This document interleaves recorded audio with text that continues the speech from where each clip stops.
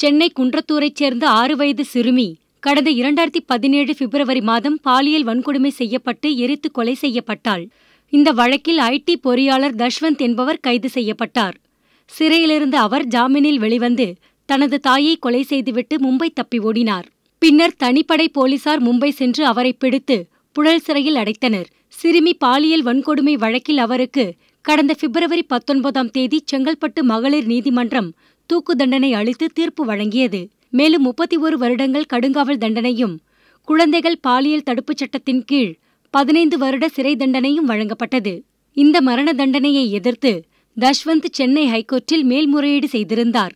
அவரது மேல்முறையீட்டு மனு மீது நீதிபதிகள் ராமதிலகம் மற்றும் விமலா செவ்வாயன்று தீர்ப்பு வழங்கினர். அவரது மேல்முறையீட்டு மனுவை தள்ளுபடி செய்து உத்தரவிட்ட நீதிபதிகள் செங்கல்பட்டு கோர்ட்டு வழங்கிய தீர்ப்பை உறுதி செய்தனர்.